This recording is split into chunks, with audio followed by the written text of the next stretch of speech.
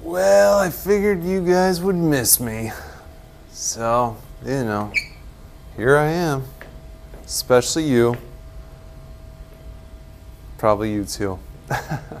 but I'm here, okay? Just a quick reminder on the three forms that we graphed in, and then you can get ripping and roaring, and you can knock these out no problem. So on the first page, is the table method. Now you can choose any numbers you want to substitute in for x in theory. Now you, you do want to make sure that they're going to fit on the graph. So obviously we'd want them between negative 10 and positive 10. When we have fractions like this in front of the x, couldn't recommend enough that you pick multiples of the denominator. So I would pick multiples of 4. So maybe I would choose like negative 8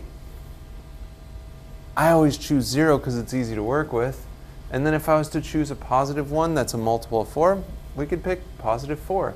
These are the numbers we're going to substitute in for x, we're going to solve the equation, and then the answer will give us our y. So we have half the coordinate already, negative 8 something, 0 something, and 4 something. So we'll go ahead and substitute these in. So we'll have y equals negative 3 fourths times negative 8 plus 2.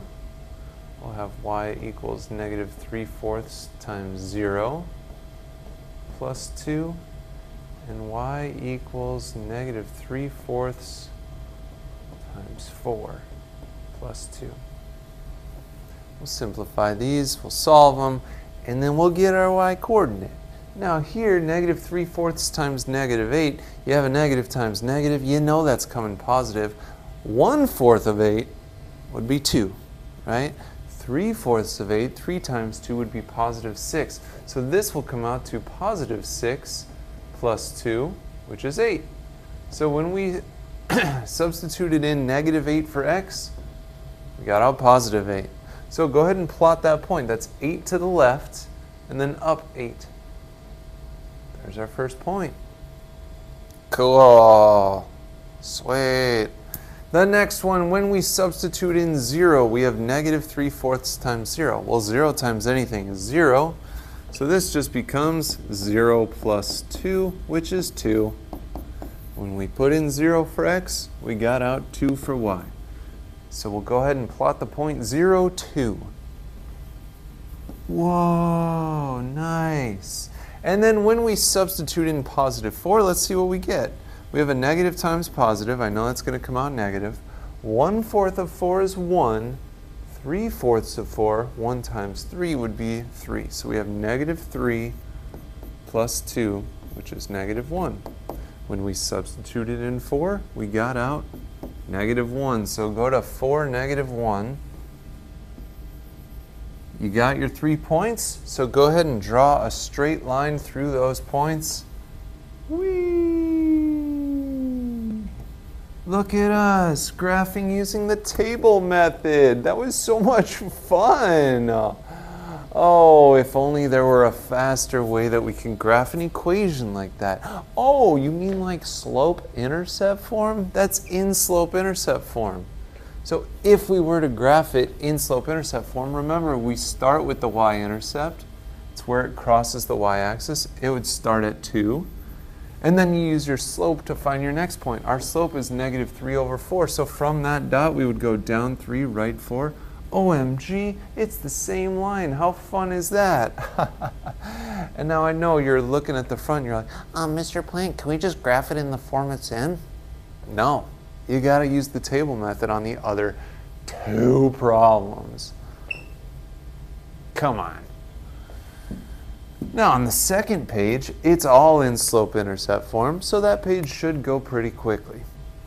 If you look at number 10, it says y equals negative 3 eighths x plus 10.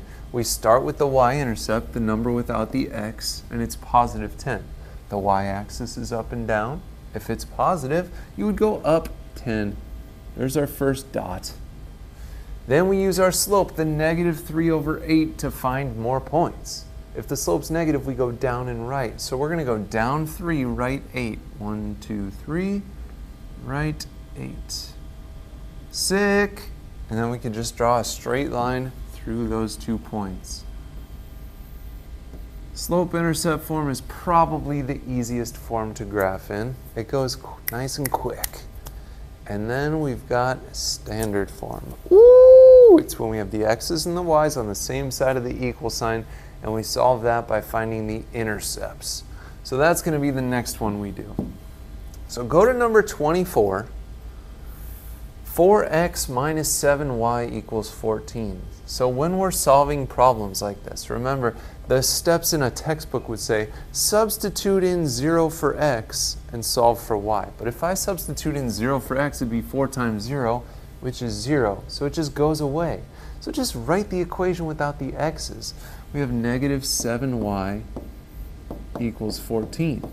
Then it would say substitute in 0 for y and solve for x. But again, negative 7 times 0 is 0, and that's just going to go away. So just write the equation without the y's. So we'll have 4x equals 14. We're going to solve each of these equations separately, and it'll give us the x-intercept and the y-intercept. So for the x, it's 4 times x, so we're going to divide by 4 on both sides, and we get a decimal, and that's okay we get x equals 3.5. We'll come back to that. Over here, we're going to divide by negative 7. 14 divided by negative 7 just comes out to negative 2. So these are our x and y intercepts. Now the flat axis is the x-intercept, and it says it's crossing that intercept at 3.5. That would be to the right because it's positive. 3.5, about there, halfway between 3 and 4. It's telling us that the y-intercept, the up and down axis, is at negative 2. That would just be down 2. And then we draw our straight line through these two points. That's as straight as I can get that line up here. We've graphed in all three of the forms. You're going to be such great uh, practicers of graphing today. And hopefully, I come back to a great subnote saying, man, fifth period, unbelievable. They're so good. They worked hard the whole time. They were helping each other out. They tied each other's shoelaces. They were like, oh, uh, I like to read books when I'm done with uh, my math work, and I like to stay quiet because I like to treat others with respect. I hope the subnote says that for fifth period. All right, we'll see you tomorrow.